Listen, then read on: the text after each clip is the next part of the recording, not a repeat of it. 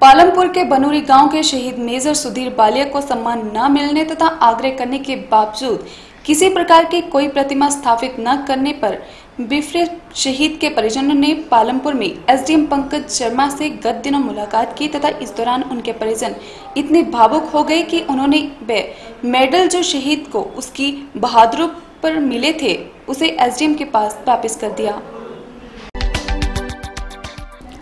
पालमपुर के बनूरी गाँव के शहीद मेजर सुधीर भालिया को सम्मान न मिलने तथा आग्रह करने के बावजूद किसी प्रकार की कोई प्रतिमा स्थापित न करने पर बिफरे शहीद के परिजनों ने पालमपुर में एसडीएम पंकज शर्मा से गत दिनों मुलाकात की तथा इस दौरान उनके परिजन इतने बाबुक हो गए कि उन्होंने बे मेडल जो शहीद को उसकी बहादुरी पर मिले थे, उसे एसडीएम के पास वापिस कर दिया। परिजनों का कहना है कि जहाँ शहीद मेजर सुधीर बालिया को 20 साल शहीद हुए हो चुके हैं, काफ़ी समय पहले उन्होंने शहीद सुधीर बालिया की प्रतिमा लगाने की सिफारिश की थी तथा इस विषय पर प्रतिवेदन था कि प्रशासन के समक्ष किया गया था।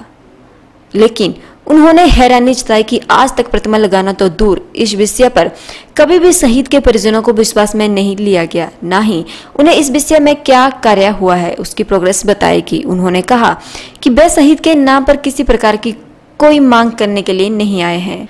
मेजर सुधीर बालिया, जो कि कारगिल के युद्ध में भी अपना शौर्य दिखा चुके थे तथा उनके साथियों ने उनको बहादुरी के लिए रैम्बो नाम दिया था। 29 अगस्त 1999 को कुपवाड़ा के जंगलों में आतंकवादियों के साथ मुठभेड़ में शहीद हुए थे। नौ साल की आर्मी सर्विस में उन्होंने पंद्रह मेडल प्राप्त किए थे। श्रीलंका में उन्हें शांति दूत के रूप में भी पुकारा जाता था।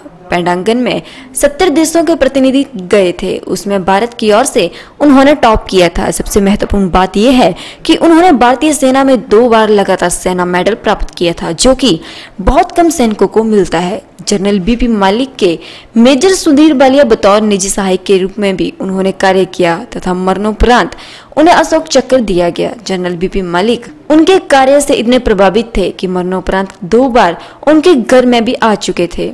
अशोक चक्र विजेता मेजर सुधीर बालिया के परिजनों ने शहीद बेटे की प्रतिमा स्थापित करने की मांग दोहराई है। शहीद मेजर के पिता रुलिया राम बालिया और बहन आशा देवी ने शहीद मेजर सुधीर बालिया की प्रतिमा पालमपुर में स्थापित करने की मांग की है। सरकार से और बहन आशा देवी ने भी शहीद मेजर सुधीर बालिया की प्रतिमा पालमपुर में स्थापित करने की मांग सरकार से की है। परिजनों का कहना है कि शहीद मेजर सुधीर बालिया ने अपने 9 वर्ष के कार्यकाल में 15 मेडल प्राप्त किए थे, जिसमें अशोक चक्र भी शामिल था। सर, हम इसलिए गए थे मेडल वापस करने के लिए कि आज तक इनके 20 साल हो गए हैं शहीद शहीद हुए इनके। तो आज तक इनका कहीं पे स्टैच्यू नहीं बना हुआ है। यही हमारी बीस साल से यही हमारी मतलब डिमांड चली हुई थी कि सबके शहीदों के स्टैचू लगे हैं शहीदी स्मारक बने हुए हैं। और इनके लिए ये भी अशोक चक्र विजेता है, मेजर सुधीर वालिया। लेकिन इनकी तरफ़ आज तक कोई सुनवाई नहीं हुई। लेकिन आज बीस साल के बाद बड़ा अरसा हो गया।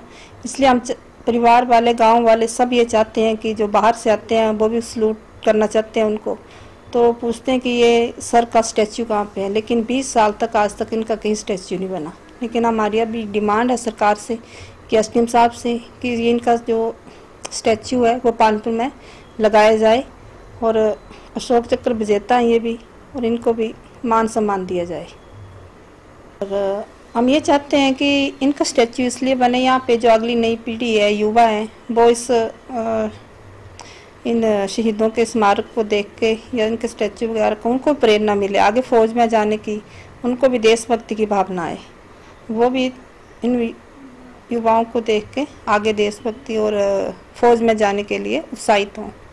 इनको कितने में इन्होंने सर्विस की थी और कितने मेडल मिले थे? इन्होंने नौ साल सर्विस की थी और इनके पास पंद्रह मेडल इनको मिले हुए हैं। दो इनको सेना मेडल वार हैं एक चलो तो शोक चक्कर है और इनके कई मेडलों से इनको सम्मानित किया गया है। ये हमारी डिमांड थी बहुत बड़ी पुरानी डिमांड है और आज तक कोई भी यहाँ आया तो उनके पास हमारी यही रिक्वेस्ट थी कि सुधीर का स्टैचू लगाया जाए।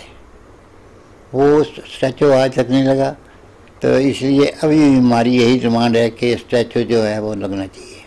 बेन जिला कांगड़ा के डीसी राकेश कुमार प्रजापति ने कहा कि अशोक चक्र विजेता मेजर सुधीर बालिया की प्रतिमा को स्थापित करने का मामला उनके संज्ञान में कुछ दिन पहले ही आया है। एसडीएम पालमपुर को इस मामले को सरकार को प्रेषित करने के निर्देश दिए गए हैं और जो भी उचित कार्यवाही होगी, वे की जाएगी। ये मामला लगभग बीस साल पुराना है और, पिछले हफ़्ते ये हमारे संज्ञान में आया है।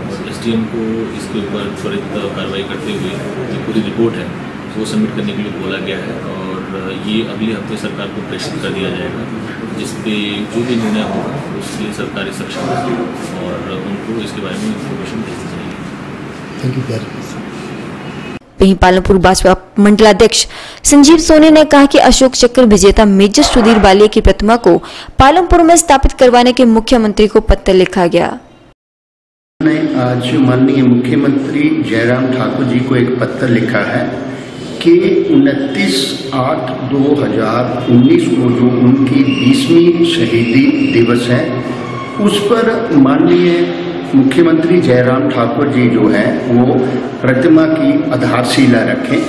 और रुलिया राम जी की जो मांग है, या उनके परिवार की मांग है, ये बिल्कुल जायज़ है। मेजर सुहीद सुधीर वालिया जी आठ, नौ, उन्नीस सौ नड़िनवे को उनकी जो शहीद हुए थे तो हम चाहते हैं कि उनकी प्रतिमा वहाँ पर लगाई जाए। उन्हें अशोक चक्र मिला था और पालपर के लिए बहुत ही ये फख्र की बात है कि पालपर से कारगिल में तीन शहीद हुए थे।